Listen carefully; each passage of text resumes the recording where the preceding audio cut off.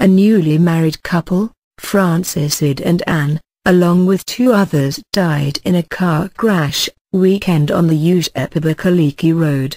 Francis and Ann, both from Ebonyi State and resident in Calabar, Cross River State, were heading to Abakaliki to thank family members, who attended their wedding the previous week, Saturday, September 7, in Calabar.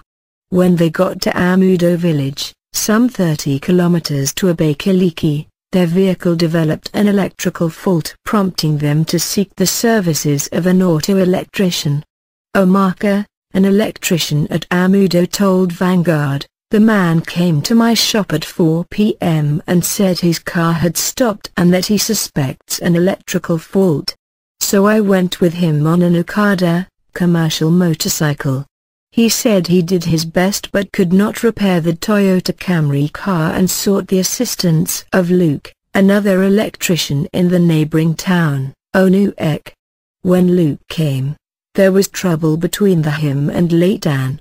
Quarrel Omaka said, Luke took an Okada from Onueke to Amudo and when he got here, he told Mr. Edeh to pay the Okada man. But his wife started shouting, saying why should her husband pay Luke's transport fare, when he had not even touched the car. Omaka said despite the tensed atmosphere, Luke still went on with the work but later advised the couple to leave the car till Monday. He said Ann became angry and the couple left for a Abakaliki. Omaka said, they refused to take Luke's advice. The next day, which was Sunday, they decided to come back to Amudo with Otu, another electrician in a Abakaliki on a chartered vehicle. On the way, the car had a burst tire and collided, head-on with a tanker and the four of them died.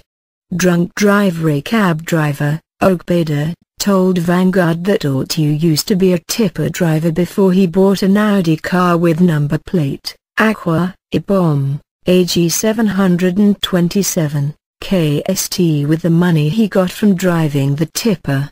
Ogbeda said, I was the one the couple contacted first.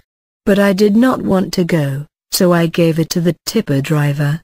The man, driver, was drunk that morning and so he collected just N1,500 from the man even when we asked him to collect the complete sum for five passengers, which is N1,800 since the transport fare from Abakaliki to Amudo is N300 and his car carries five persons.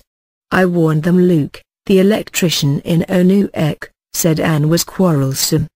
He said, I told them not to repair that car till Monday, because my spirit told me something.